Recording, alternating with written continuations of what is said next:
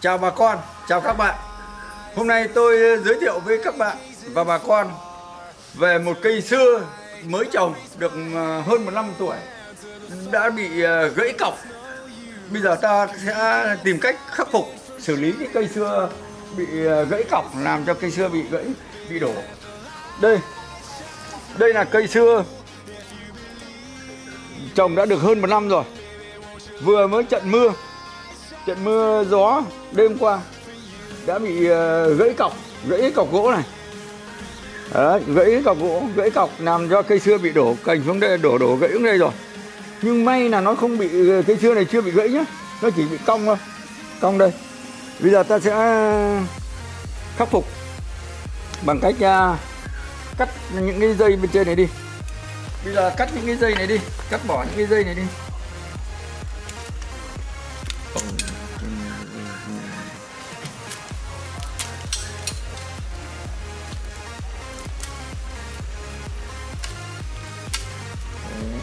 Hết những cái dây bỏ ra để để để ta buộc lại.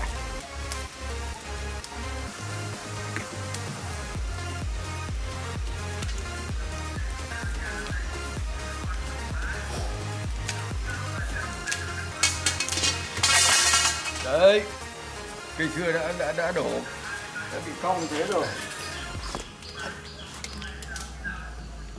Bây giờ, cây này rất là là nặng. Bây giờ ta sẽ phải phải nối cái, cái, cái ống này. Nối ta sẽ lấy cái ống này để ta làm cọc.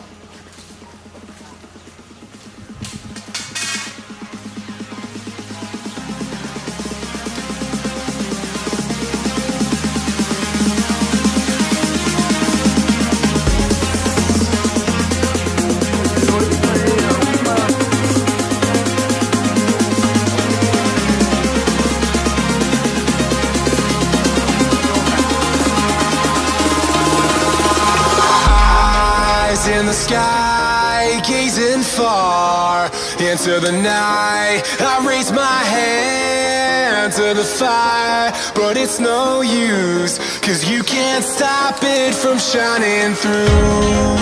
It's true, baby, let the light shine through. If you believe it's true, baby, won't you let the light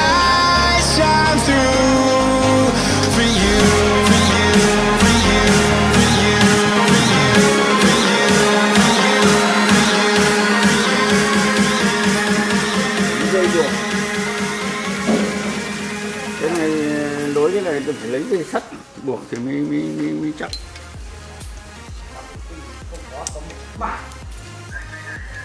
cái này bằng cái cái cái cái gỗ bạch đàn hôm trước này nó nó mục rồi nó gãy.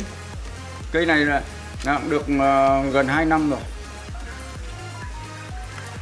Gần 2 năm cho nên là cái cái cái cây bạch đàn non là nó gãy ngay. Cho nên bà con ta nếu mà có cây ta dùng cái cây cây cây cây cây vầu ấy, cây cây vầu cây dốc ấy, là tốt nhất. Nó được bền hơn. Cái cây gỗ này là cũng phải kiểm tra nếu nó gãy là ta lại phải xử lý.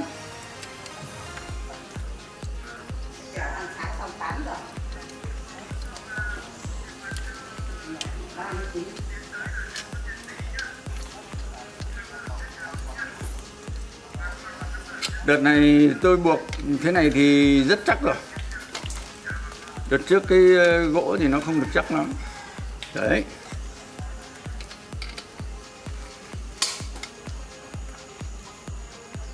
Rất là chắc. Xoáy cho phát nữa. Đấy. Bẻ cái này vào này nó lại nó lại quạt vào tay.